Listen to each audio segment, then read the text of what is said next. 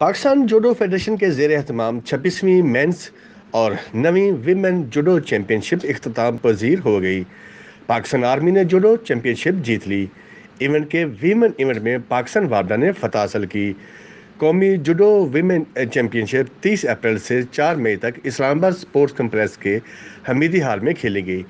Event کی اختتامی تقریب میں جاپان کے سفیر بطور مہمان خصوصی تھے۔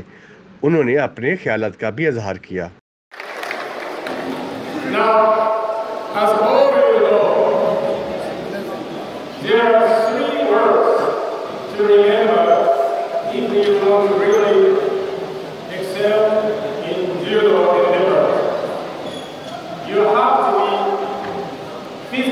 Strong, but more importantly, you have to be strong in your heart.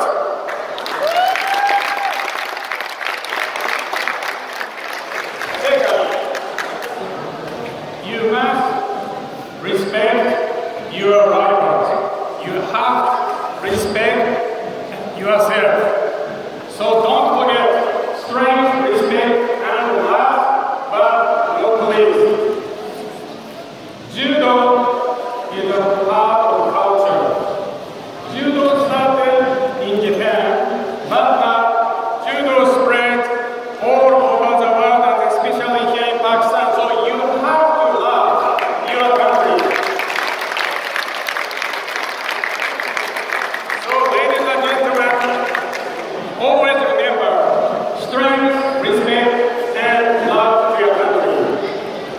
event میں مردوں کے مقابلوں میں پاکستان وابڈا نے دوسری، ایچ سی نے تیسری، پاکستان نیوی نے چوتھی، ریلوے نے پانچویں پوزیشن حاصل کی۔ چیمپئن شپ کا افتتاح ہفتے کو روز ہوا تھا۔ پاکستان جوڈو فیڈریشن کے صدر کرنل جوید عالم، نائب صدر مسعود احمد، اسلام آباد جوڈو ایسوسی ایشن کے صدر ظریف احمد، اسلام آباد نیٹ بال ایسوسی ایشن کے صدر غلام مرتبہ شاہ کے علاوہ شائقین کی بڑی تعداد بھی اس موقع پر موجود تھی پاکستان آرمی ایونٹس میں ٹائٹل کا دفاع کر رہی تھی، جس نے کامیاب دفاع کیا۔ چیمپئن شپ میں ملک بھر سے تیرہ ٹیموں نے حصہ لیا، جن میں Pakistan army, وابڈا، railways, police, higher education, navy, Punjab, Sindh, Balochistan, Khyber, Pakhtunkhwa, Islamabad, FATA اور آزاد کشمیر شامل تھے۔ پہلی مرتبہ انٹرنیشنل رولز کے مطابق مینس اینڈ ویمن ایونٹس کو شامل کیا گیا۔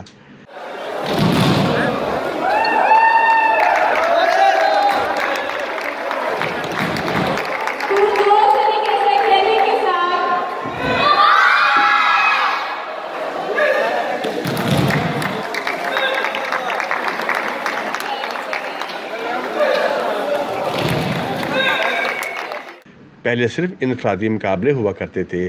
ایون کہ انفرادی مردوں کے مقابلے میں پچاس، پچپن، ساٹھ، سکسٹی سکس، تہتر، اکاسی، نوے، سو اور ہنڈریڈ پلس کیٹیگریز کے مقابلے منعقد کیے گئے۔ میٹرو واچ نیوز کے لیے زاہد فاروق ملک، اسلام آباد۔